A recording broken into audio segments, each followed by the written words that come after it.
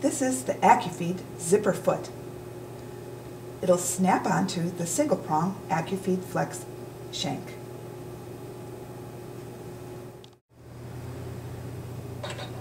Use this foot when you're applying zippers or piping to multiple layers.